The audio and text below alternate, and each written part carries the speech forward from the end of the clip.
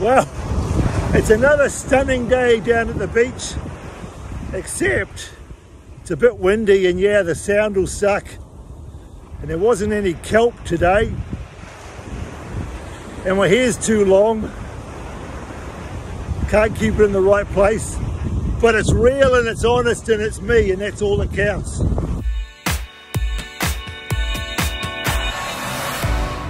What I was thinking today despite being a stunning day down here, was that jigsaw puzzles are really much easier to do when you know what the final picture is going to look like.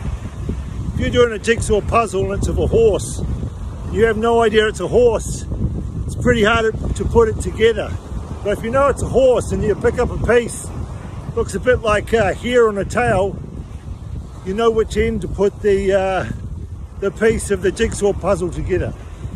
And I've just spent uh, a couple of weeks writing two articles on my Patreon page about what I think the big picture is of what's going on in the world today. And I think they're pretty extraordinary articles. And I think if you don't, if you haven't heard of the two opium wars in the 1800s and the, it's like a big stingray out there. If you don't know about the unfair treaties and the a big bit of kelp. Woo! Hang on, no kelp. Found some. Hang on, hang on, hang on. If you don't, oh, is it a stingray? Might just be a big rock. Woo! If you don't understand about the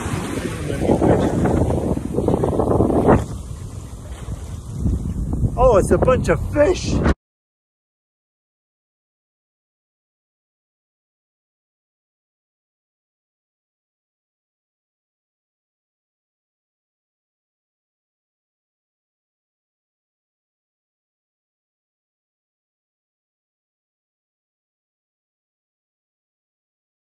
That's so weird. So, so I got distracted and wet. If you don't know about the opium wars and the unfair treaties and the century of humiliation and what caused the Great Depression of the 1920s and the subsequent Smoot-Hawley Act and then what happened after World War II with the Weimar currency? And what happened the significance of President Nixon taking the US off the gold standard in the 1970s and how that relates to the virus in March and then the US Federal Reserve saying they'll do unlimited printing of money.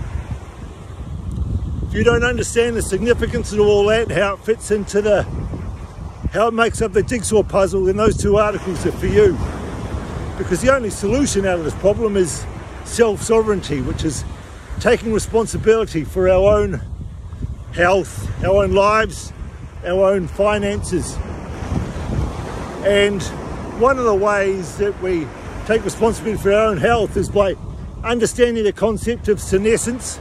And senescence is basically the concept that our individual cells die in our organs. And when they die, there's a cleanup gang which uh, comes along and disposes of the garbage. And it's a bit like if that system doesn't work, if you don't have the right infrastructure to remove the garbage, then those cells just sort of sit there, break down and release their toxic decay products, which affects the functioning of the surrounding cells. It's a bit like if your neighbor doesn't have a garbage collection and the garbage just collects up and then all the cockroaches and rats rats from their property come over and start uh, invading your property.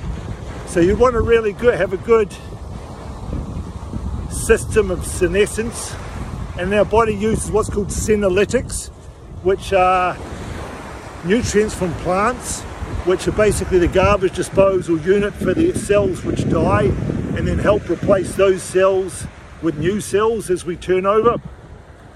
And the three main senolytics are theaflavin, quercetin and apigenin.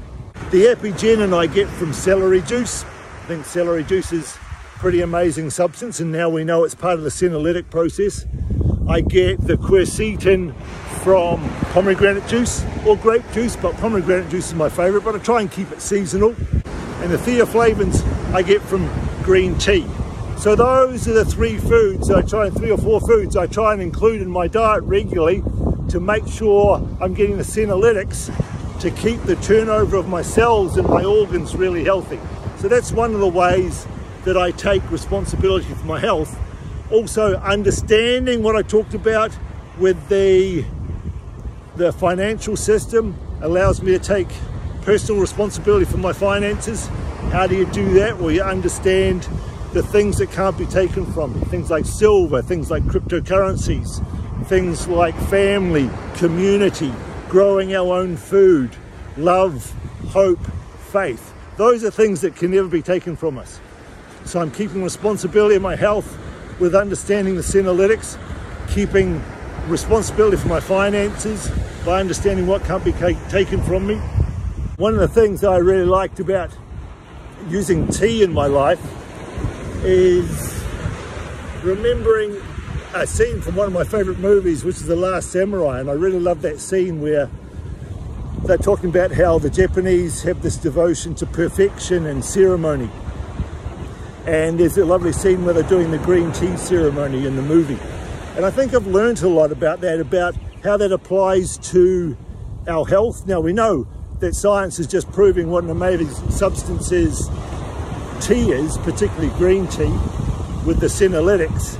And we also know, interestingly, that tea was a big part of the opium wars, if you read about those, which I think are very relevant and fit in with the jigsaw puzzle that I've been talking about but also in terms of taking responsibility for your health. And that's very important around the concept of eating.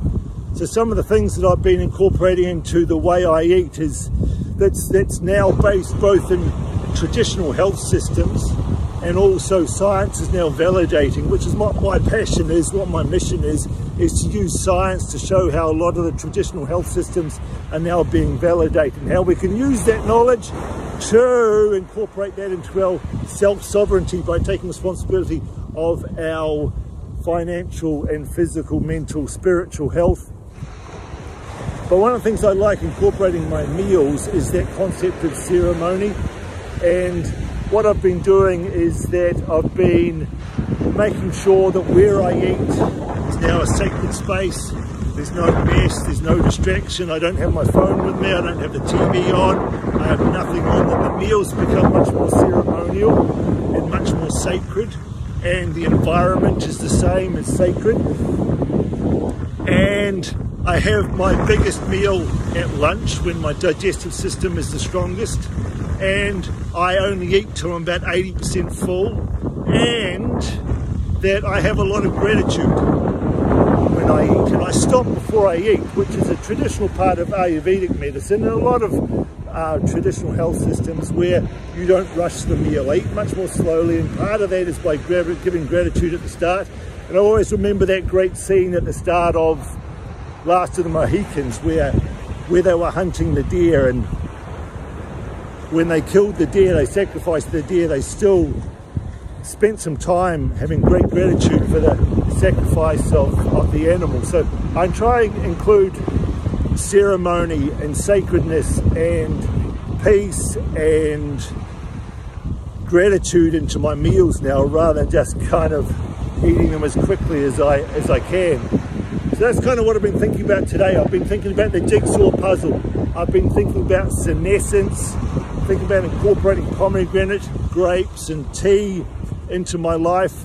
Been thinking about love and family and community and self-sovereignty. And I've been thinking about making meals much more sacred and ceremonial to as part of my program of self-sovereignty. So kept walking down the beach and still no kelp. Found a, a strange school of fish but no kelp. But I'll be back tomorrow looking for some more kelp to sun dry to use in the products I'm making. So have a great afternoon, everybody. It's been great catching up.